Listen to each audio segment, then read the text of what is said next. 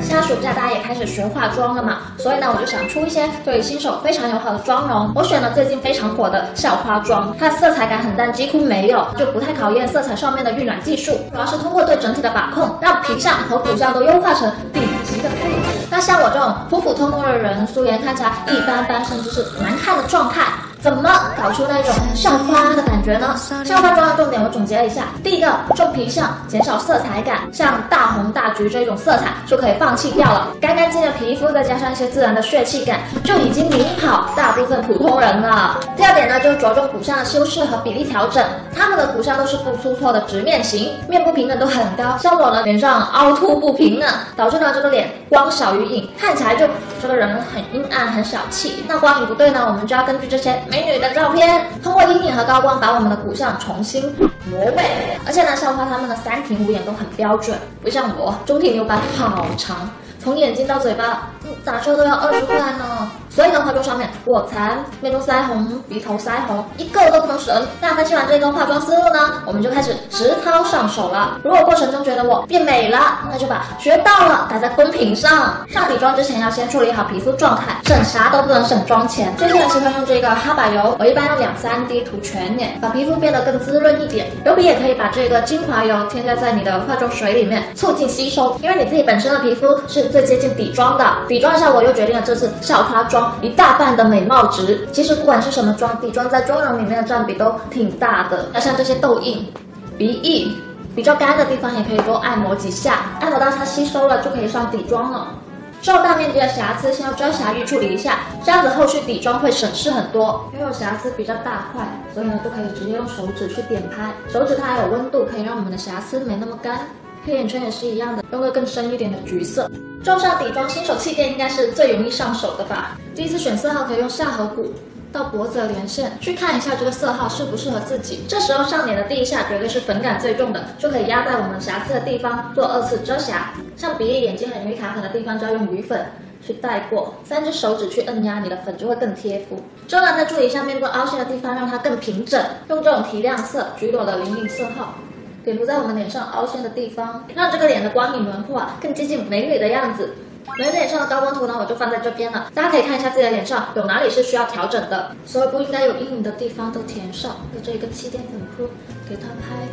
这边就要比这边要显得年轻很多。再来处理我们的小细节，像是泪沟、法令纹这些是很显疲态的，用这个最亮色的遮瑕，找到自己纹路最死亡的角度。像黑眼圈呢就低头，法令纹呢就侧头再低头，模拟一个顶光的效果。把遮瑕放到你最死亡的阴影那里，在这个角度下把它摊开。这样子回到正常角度，它就已经被遮得七七八八了。还有这些跑出来的痘印，用这种拇指刷沾取相近的遮瑕颜色，在手背上蹭一下，不要让它有太多的膏体。之后呢，直接点涂上去，让这个底妆看起来没那么脏，看起来瑕疵不大就行。之后，来上我们的散粉，用到是这个辣妹 L A Girl，拿粉扑这样蘸取，蘸取完之后它是不均匀的，就要在盖子上或者是手上给它磨得均匀一点。之后，我们散粉就重重的压上去。底妆完成之后，我们的皮下是不是就要比素颜的时候要好很多？但是呢，现在有一个问题，我们的脸太像一张饼了。现在先来处理我们的轮廓，在那些应该有阴影、有立体度的地方呢，就要选那些比较好晕染的阴影产品。我选的是这个 d 它们这个色调我觉得非常贴合我们亚洲人的皮肤，很自然的阴影。脸侧呢，我们就可以直接用手上把它点在你正面看到凸起来的地方，之后呢，用轻拍的手法把它前后晕开。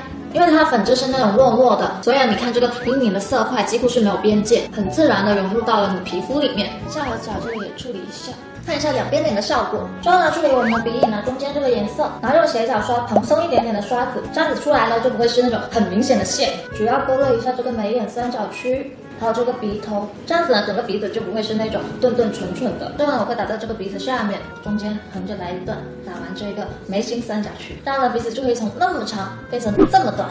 眼睛也用这个阴影色打一个基础的轮廓出来，打满整个眼窝。还有这一条眼眶外缘线，顺着这一个下眼眶的弧度扫一下，这样子卧蚕能够更清晰。你看这边的眉眼就要比这边要更立体，包括人中的位置，捏扁一点刷子，人可以眉，但是人中不可以眉。还有下唇这里，可以很好的弱化我们的凸嘴。之后呢，再拿一个火苗刷沾取这一个高光色，然后在鼻梁、眉弓。如果你的下巴短呢，高光就要打在下巴底这里。这一套阴影高光组合下来，凸起来的地方压下去，凹下去的地方呢提起来，脸的轮廓就会超清晰。之后呢，再来处理我们的五官，眉笔用的是这种极细的眉笔，特别的好控制。先画眉底线，确定眉毛的走势。每张脸适合什么样的眉形，我之前就已经出过一期非常详细的教程了，大家可以去看一下。确定好眉底线之后，其他的地方都是用小距离的斜线去填充。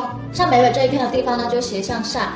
眉头呢就是斜上上，不需要画的特别的精致，因为这是一种原生自然的感觉嘛。但是呢，眉尾这里就不要低过眉头，不然呢就会显得不太精神。眉笔呢还可以拿来加深下睫毛，营造一种下睫毛很多，看起来毛发就很旺盛的感觉，很自然。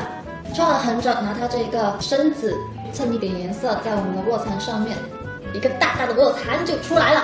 给你直接用三样颜色铺一个单色上去，让眼皮有点颜色就行。因为我面中没有斑很多，所以呢，面中这里的腮红就会打很大一块，少量多次的点涂上去，横着打。因为我的脸太窄了，我需要让它宽一点点，不要低过鼻翼，鼻头腮红不要忘。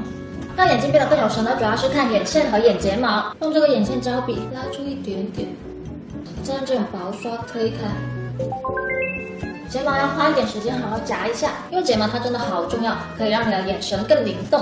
而且呢，我还发现，如果你没有把眼头的睫毛夹起来，就算你夹了睫毛，它还是会显得眼睛很无神。眼头眼尾可以用这种细节的去处理，涂个睫毛打底，因为它梳子状的就会把睫毛梳得分干分明。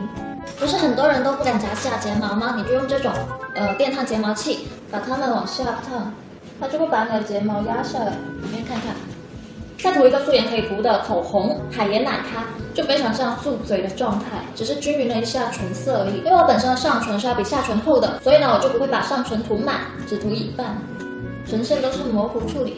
妆容 OK 的，发型也要跟上才行。深发色呢是最显气质的，不然你觉得那些校花为什么个个都是黑长直？而且呢，像一些学校管得严的，还不给烫发、染发，黑发、棕发就更接近大家青春校园里面的那个形象。而且呢，他们头发都非常的有光泽，像我们这种枯草，哼 不可以，得好好的涂一点护发精油。而且呢，他们刘海这里都很听话，会有一个撇出去的弧度。想要刘海有这种弧度呢，我们就需要一个直板夹，开到一百八十度，把直板夹横着。夹进去，这样子，这个弧度往外拉，它就自然的会离我们的额头远远的。这个尖头也是一样的，取出上面的一片头发，做一个 C 型，之后呢往下拉，发尾这里给它稍微的内收进去，它就会有一个自然的弧度，你的头发呢就不会乱乱的。如果还是不够蓬的话，就拿起上面的一片，专门做下面这一片的工作。发根的地方弄一个 C 型，这样子呢它就会有一个撑起来的弧度，之后呢往下拉。然后发尾收进来，看一下两边的区别。这边呢这一块会饱满一点，没有经过修饰的发尾就是这样。夹过的发尾呢会有那种自然精致的感觉。一起来看最后的效果吧。